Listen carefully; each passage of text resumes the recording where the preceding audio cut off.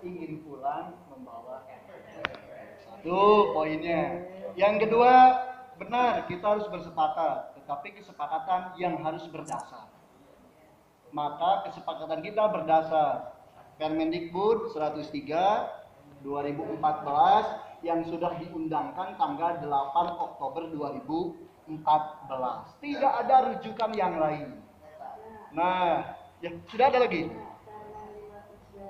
Oh enggak yang pembelajaran Bu, yang RPP, RPP-nya dulu, RPP, RPP ya, RPP.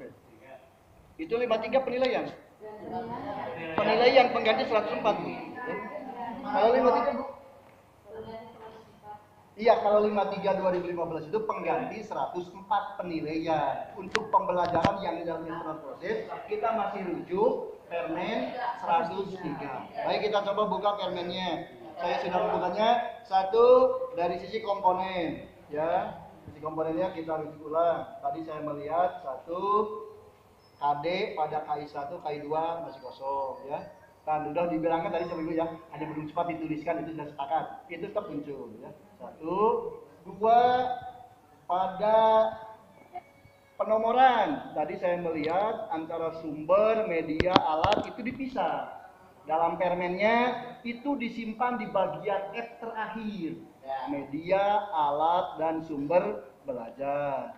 Kemudian pada bagian materi, nah ini yang memang yang baru ngeh bulan Desember kemarin, karena permennya sendiri Oktober, materi harus dipecah menjadi tiga.